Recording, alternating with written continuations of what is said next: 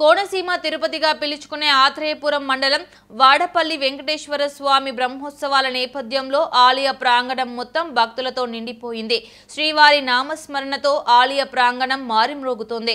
గోదావరి తీరాన పచ్చడి చేలగట్ల మధ్య ఉన్న వెంకటేశ్వర స్వామి దర్శించుకునేందుకు చుట్టుపక్కల వారే కాకుండా ఇతర రాష్ట్రాల నుంచి పెద్ద ఎత్తున తరలి వస్తున్నారు వారికి ప్రత్యేక ఏర్పాట్లు చేశారు ఆలయ అధికారులు. ఏడు శనివారాలు ఏడు ప్రదక్షిణలు చేస్తే కోరిన కోరికలు తీర్చే వెంకటేశ్వర స్వామిగా ప్రసిద్ధి చెందింది వాడపల్లి వెంకటేశ్వర స్వామి ఆలయం. కోనసీమ తిరుపతి క్షేత్రంలో బ్రహ్మోత్సవాలు అంగరంగ వైభవంగా జరుగుతున్నాయి. ఈ సందర్భంగా ఆలయ ప్రాంగణం మొత్తం విద్యుత్ కాంతులతో విలాజిల్లుతుంది. మేళ తాళాలు డప్పు చప్పులతో మారుమ్రోగుతుంది ఆలయ ప్రాంగణం. వాడపల్లి ఆలయానికి సుదీర్ఘ చరిత్ర ఉంది.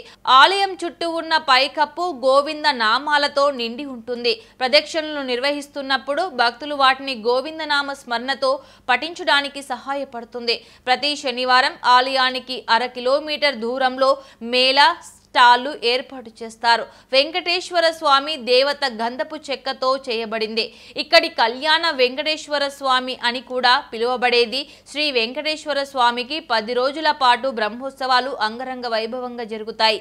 ఈ సందర్భంగా రాష్ట్రంలోని వివిధ ప్రాంతాల నుంచి పెద్ద సంఖ్యలో భక్తులు ఇక్కడికి వచ్చి పూజా కార్యక్రమాలు నిర్వహిస్తారు. కోనసీమ తిరుపతిగా ప్రసిద్ధి చెందిన వాడపల్లి తూర్పు గోదావరి జిల్లాలో రావులపాలెం పట్టణానికి పది కిలోమీటర్ల దూరంలో ఉంది. ఏడు శనివారాలు ఏడు ప్రదక్షిణలు చేస్తే కోరిన కోరిక నెరవేరుతుంది అనేది వాడపల్లిలో నానుడి.